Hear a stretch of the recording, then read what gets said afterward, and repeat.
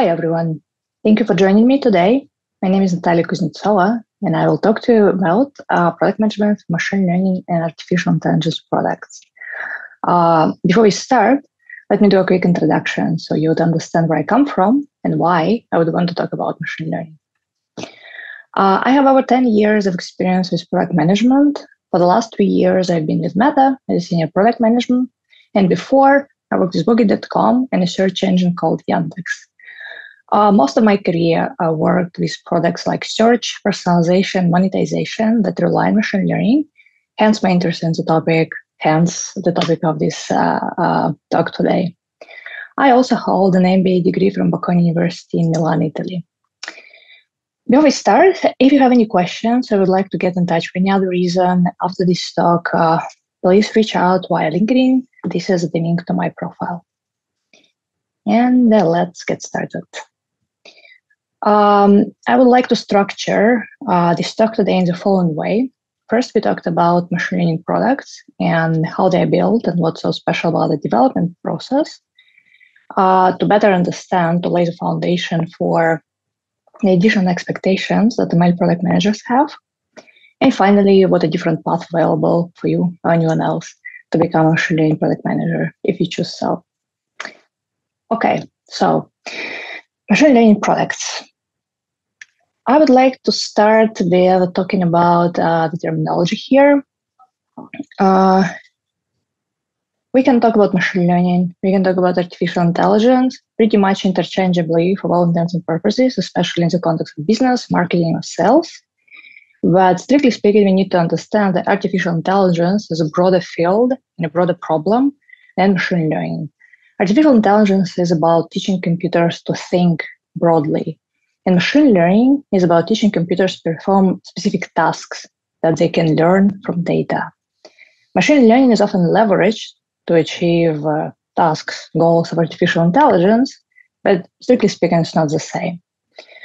Um, however, uh, as I said, you can use them pretty much interchangeably. However, when you talk to your ML development team, typically you would want to use terms like machine learning. It's more common, at least in my experience.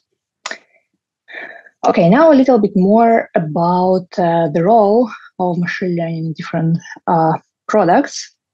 Here I try to visualize a scale which reflects uh, the importance or criticality, the weight that machine learning models uh, uh, have in different products. In one side, on the left side of the scale, you can see that uh, machine learning pretty much is a product. It has a thin wrapper of user interface around it, but still most of the functionality is coming from the model itself. So the examples here would be generative AIs, such as ChatGPT or DALL-E, or uh, Google search engine. The model is the product here. On the other side of the scale, you can see, for example, product recommendations on e-commerce websites like Amazon's, or uh, recommendations on Netflix.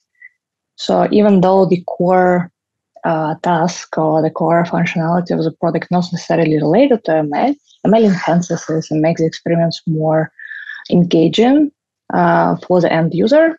So in that case, machine learning is, uh, is a nice to have, but usually pretty important for, for business outcomes anyway.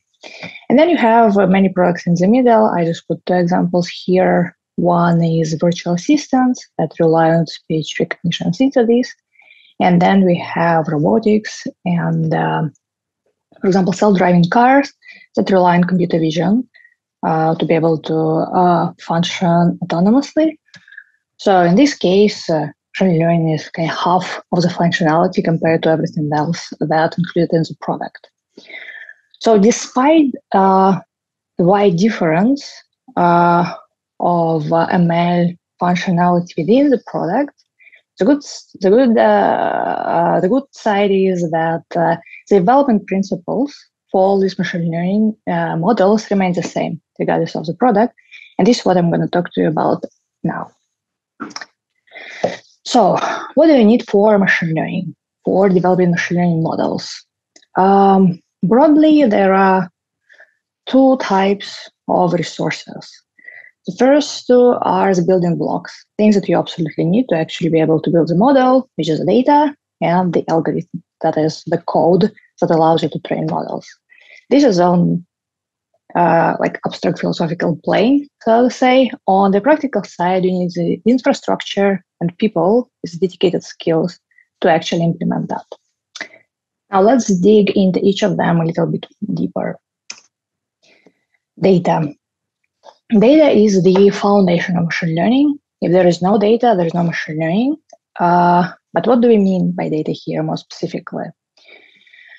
For the purpose of machine learning, we talk about data as a structured information about the entity that we want to model or predict and the signals that we are going to leverage to achieve that. Uh, to give you an example, uh, say we want to predict uh, clicks on search results in a search engine. Clicks would be the entities that we model. Uh, the technical term for it would be a label. And all the user behavior information, all the information about different search results shared in the query and the search query itself, those are going to be signals. In technical terms, they're going to be called features. So we're going to leverage features to be able to predict uh, the label. That is the click. Uh, when I talk about structured data, that's what I mean. This example is a Boston housing dataset, uh, one of the public datasets you can find on the internet. So here you can see a list of uh, different features, you may say different characteristics of uh, houses in the Boston area. And you can in, you have the label here as well, which is the price. So this dataset is uh, used for uh, like benchmarking or testing different types of uh, models or modeling approaches because it's public domain, uh, leverage the features to predict the label. You can see it uh, here is presented as a tab separated uh, uh, um, file. Um, so this is how you can think about any training data set. Then uh, algorithms. in short, this is a code that actually allows you to learn from signals or features to predict the label. It could be as simple, uh, quote unquote, simple as linear regression or as complex as deep learning, meaning uh, neural networks. Um, there are many different types of algorithms. Uh, it's not that one, any one is better than the other. For different tasks and different circumstances, you would want to use different algorithm. Here are just three examples uh, from linear regression on the right, uh, neural network on, uh, sorry, on the left, neural network on the right, and in the middle you have an ensemble, which is a technical term for a combination of a few uh, decision trees, which are independent models and then combine in a bigger model. Moving on to the plane of the real world, um, how do you actually make this happen in the real world? So first of all, you need infrastructure. If you are going after complex advanced models, or if you are going to serve them at large scale, you will need uh, dedicated data storage and compute capacity. This is one of the reasons why ML can be expensive. And finally, the foundation of all is people uh, as with data, machine learning is impossible without people. You need to have uh, the dedicated talent, specialized talent that will be able to actually train the model, leveraging the data. Uh, this role is called differently different companies. At some companies called data scientist, at some companies it's called uh, machine learning engineer. But uh, these are ultimately the people who will be training the models. On top of that, uh, typically you also need to have data engineers who are uh, accountable for uh, procuring high quality data and infrastructure engineers that need to make sure that the entire stack works end to end from data storage and processes to model training to serving the model in production in an efficient, reliable way. Uh, all these roles, all this talent is another reason why while is expensive. So now let's uh, uh, talk a little bit about how the um, uh, machine product development cycle looks like.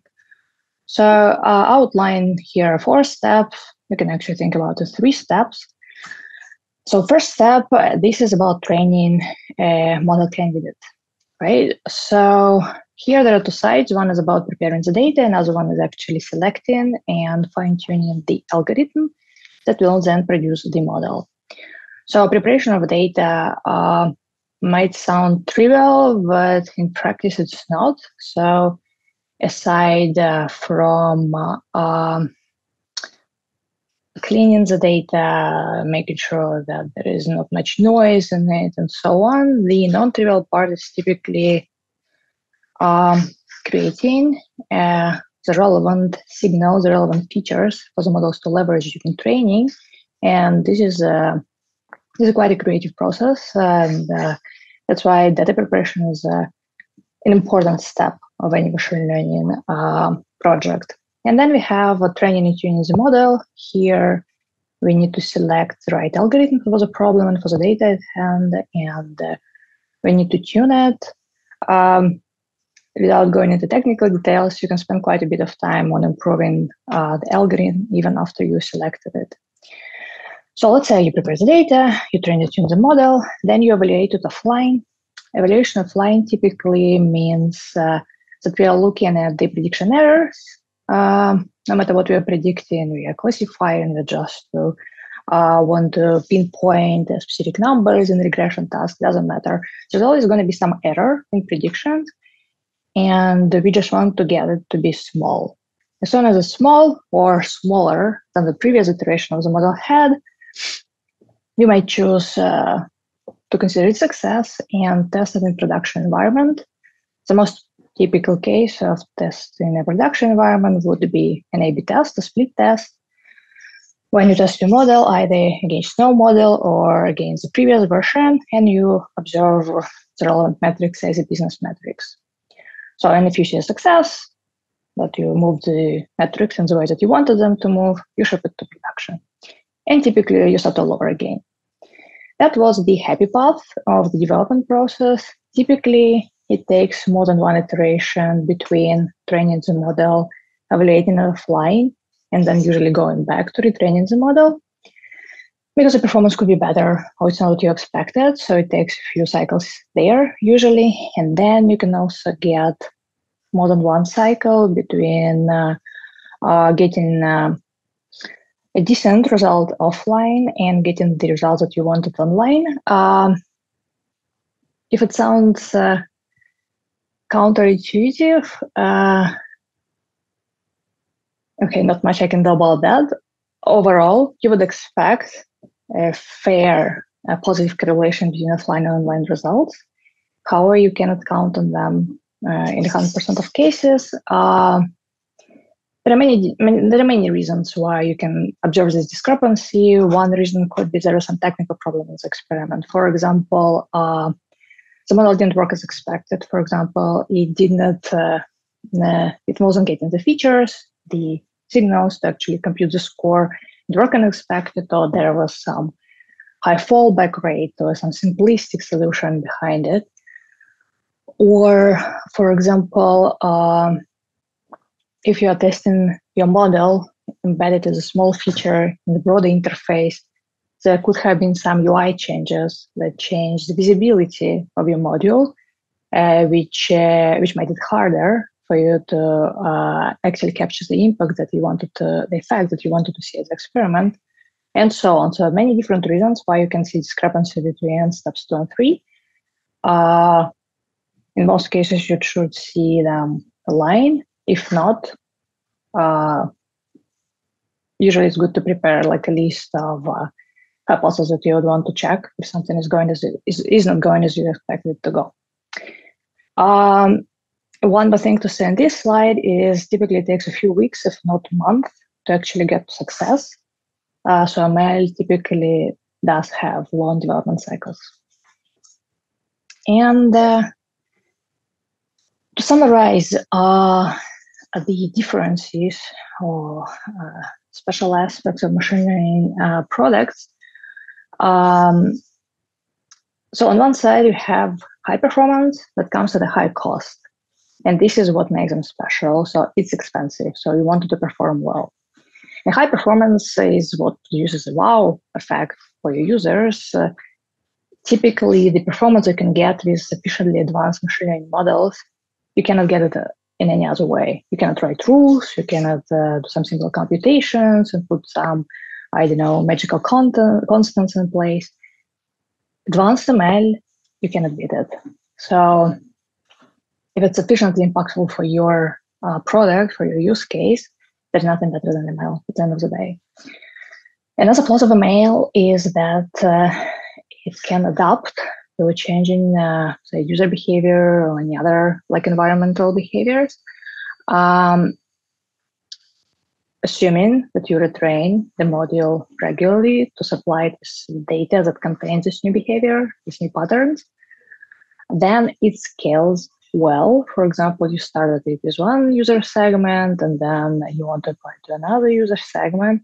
It should scale well as long as you have sufficient uh, capacity to do so.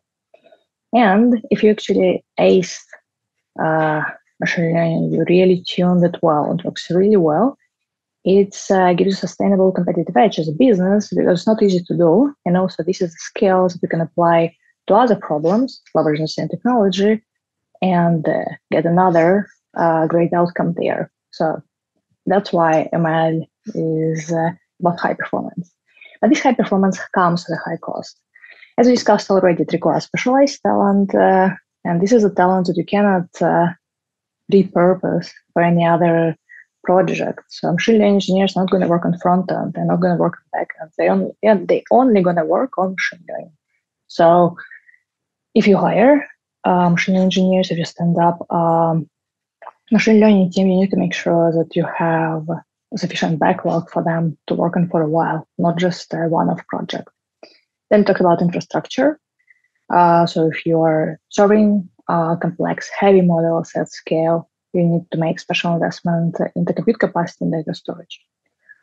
Um, long development cycles. Uh, this might be uncomfortable for people, for example, who used to small step optimizations, which is a very effective optimization strategy on its own. But here, together with the opacity that is put here as the last bullet point, uh, can make a lot of people uncomfortable who don't have experience working with a ML. And finally, maintenance. Uh, machine learning is complex, and there are a lot of things that need to work together well for it to be as effective as was intended to. For example, we need to make sure that all the important signals are always delivered to a model in real time so you can actually, you know, compute the scores and do whatever you need to do with those scores. Uh, your model needs to be retrained regularly to capitalize on the fresh signal, fresh patterns uh, carried into the data. Um, all of that uh, needs to work well, this is just only for production serving, right? So maintenance and uh, monitoring and debugging is going to be another expensive part of machine learning. Okay, so we discussed uh, machine learning products and what is so particular about them. So now let's talk a little bit more about the role of machine learning uh, product managers. So to start, it started the good news. Uh, good news is machine learning product managers are still product managers, which means that all the core uh, competencies, the expectations are the same. So it's about setting direction for a team, defining and measuring success, and supporting the team throughout the execution. If we were to summarize it just one word, creating extreme clarity for all of your stakeholders, the team, uh, sponsors, dependencies, partners, all should be super clear on what you're doing, why you're doing that, and how you're going to achieve it. However, since uh, machine learning is special, so there are also a few extra requirements that MLPMs uh, uh, will need to fulfill. Um, I uh, put them in four buckets. Uh, um, cannot say that this increasing or decreasing priority or importance. All of them are important. So everything starts with actually understanding the tech. to be comfortable uh, working with machine learning team, selecting the right products for this, uh, sorry, selecting the right problems for this team, uh, and setting the right expectations of your stakeholders, you need to understand uh, how the tech actually works and how the development cycle actually looks.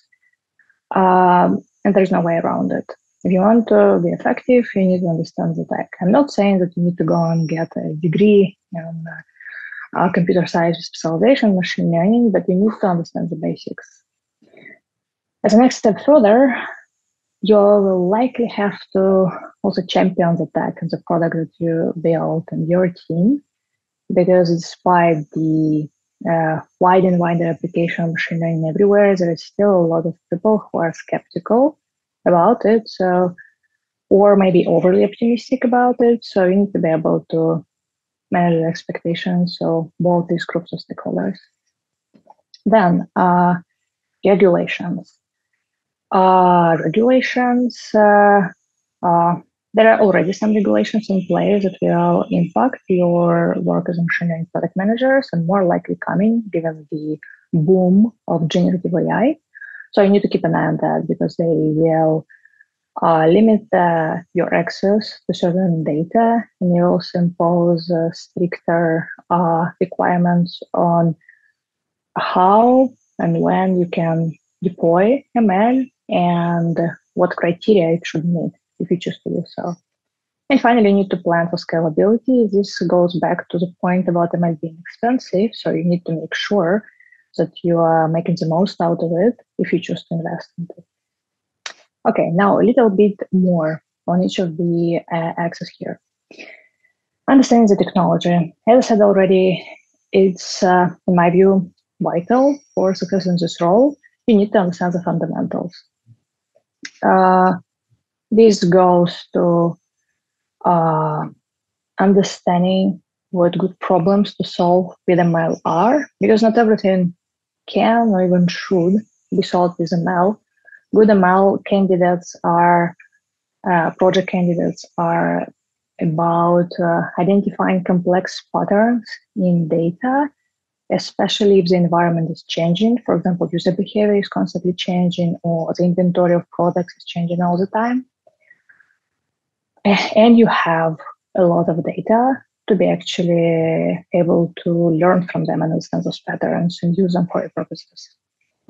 Uh, if something can be addressed by one-off analysis and well-written rules or heuristics and magical constants, it's okay. You don't have to do it with ML then. So you need to be very clear about when it's worth investing in ML. The next thing here is uh, to lead the ML team effectively.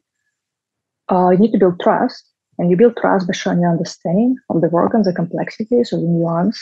Uh, it also gives you the um, the foundations uh, to how should I say to challenge your team in the right way to make sure that they are still working on the right problems, that they're focusing their efforts in the right areas.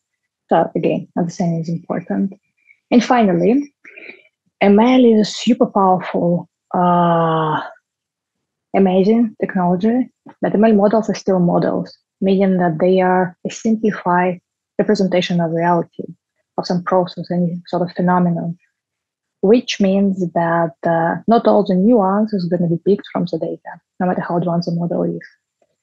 And uh, if there are any biases in the data, ML will amplify it exactly because it's just uh, like roughens up what it observes in the data. For example, if you're building a tool uh, for helping recruiters uh, identify more promising candidates and you're looking at historical data of uh, hiring in tech. And if you are not careful, uh, your model might learn, that, for example, women are not good candidates for technical jobs because the majority of technical roles in history were occupied by men. So this one example of how your model could uh, amplify the historical bias. So at the end of the day, it's your job as a product manager because model is going to be a product to make sure that the product works as expected, is evaluated objectively, and is used responsibly. We can say do no harm is one of the things that you need to keep in mind when working on machine learning, especially in sensitive areas.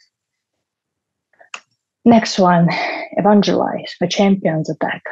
Uh, already touched uh, upon that before, but ultimately, in many cases, machine learning is either perceived as a, as a magical black box, completely opaque, or as a magic wand, like with no limitation, can do anything. Both are obviously quite extreme point of views, and the people who view it as black box uh, typically also distrust it at least to some degree. And people who are overly optimistic, who think it's a magic wand, they have unrealistic expectation about what I can achieve with that. Often, the job of educating your stakeholders uh, on the actual benefits and actual capabilities, as well as drawbacks and costs of machine learning, is going to be the PM's job. Uh, so again, uh, this goes back to understanding the tech, but also a little bit of soft skills about how you pitch pitching that to the right people and get the buy-in. Next one, regulations. So as we discussed, the two fundamental blocks of ML is data and algorithm, and both can be affected by existing or upcoming regulations. That's why it's important for you to monitor them. First of all, be up to speed on everything that's already in place, and also keep an eye on what's upcoming. Uh, there are a lot of regulations regarding privacy and in some case uh, competition that may limit access to the data that you can use for training new models.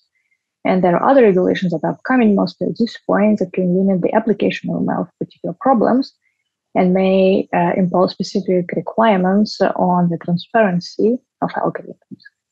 So I guess, I guess I don't have to explain to you that need to comply with laws, but um, I strongly recommend taking it one step further. So laws are coming from uh, a place of actual concern, right? I mean, some problems being observed uh, in the past. For example, we have uh, excessive use, untransparent use of user data for training algorithms that modifies the behavior.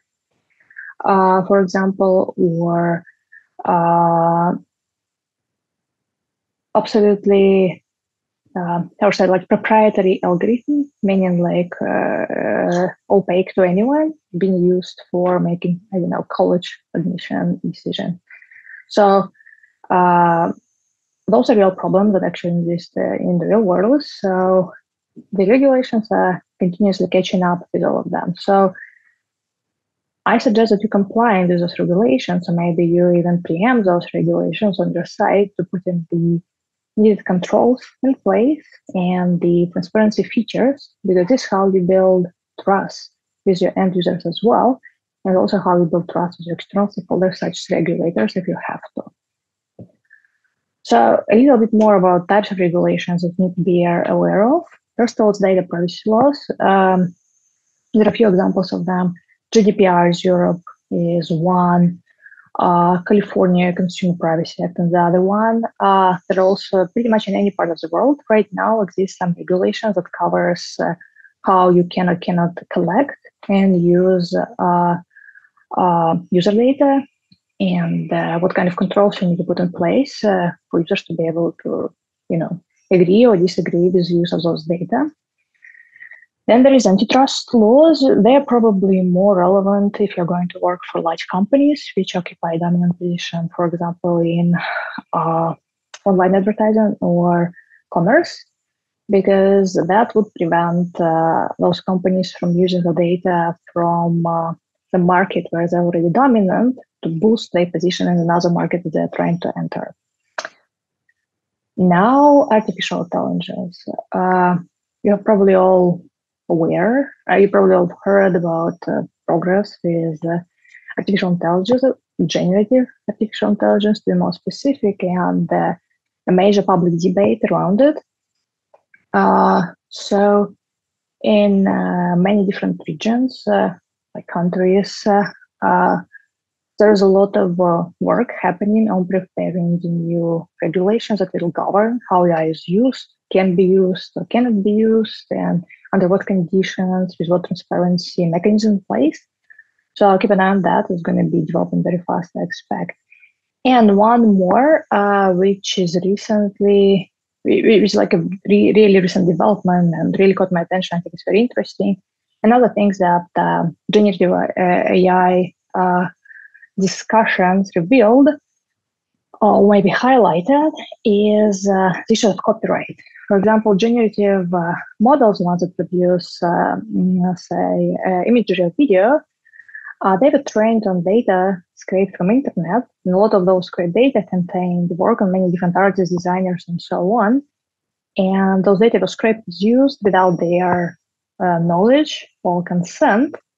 And then um, there is a threat that these uh, generative AI models will be used by people to actually circumvent going like designers or artists. So instead of going to them, people are going to use these models instead. So uh, the work of those designers, of those artists was used to actually reduce their potential impact in the future.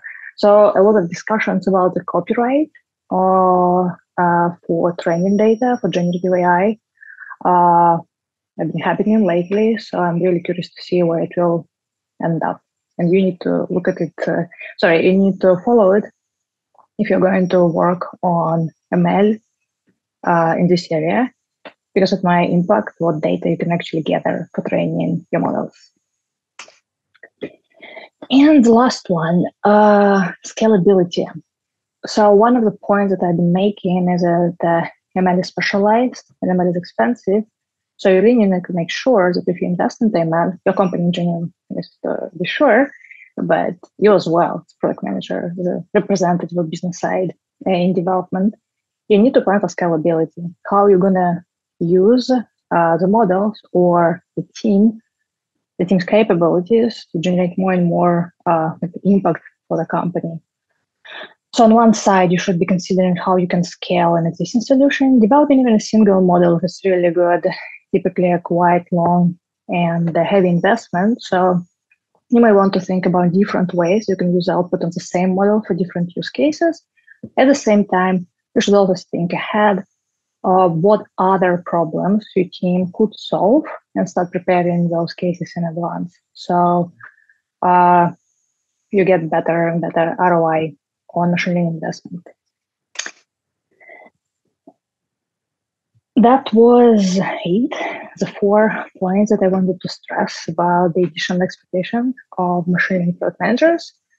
Um, and now I would like to go and talk about a little bit more on different paths how you can become a machine learning product manager if you chose so. Here is uh, three options that I identified in, uh, uh, I would say, increase in, in, the order of increasing complexity or maybe boldness. Uh, the most obvious uh, path is, of course, to join companies that already does machine learning. Typically, those companies also support on-the-job training and transfer between ML and non-ML team. So if you join the company as uh, even as a regular ML, you can over time transfer to a machine learning team and get ramped up there.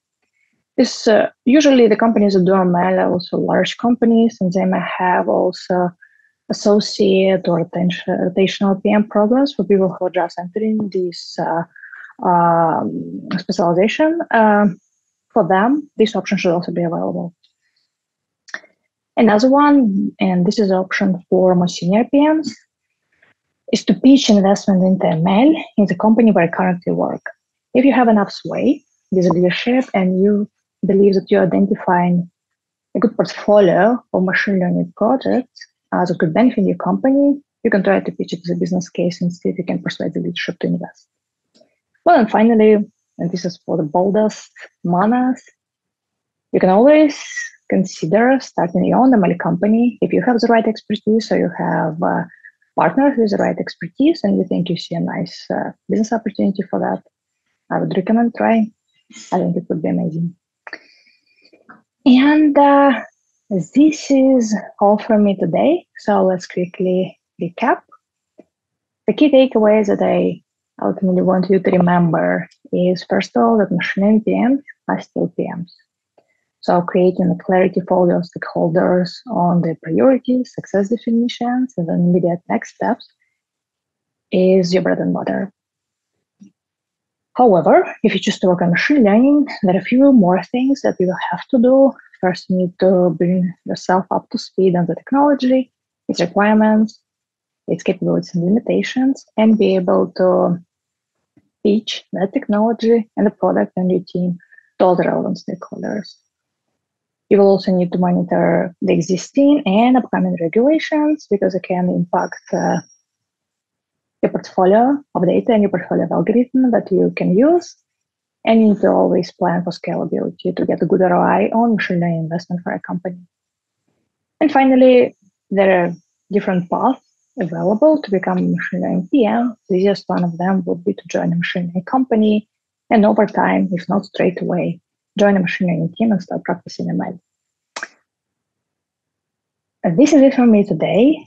Uh, thank you for listening. I hope you heard something new uh, and interesting for yourself.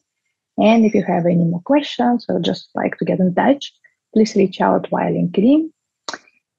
That is it. Uh, thanks again and have a great day.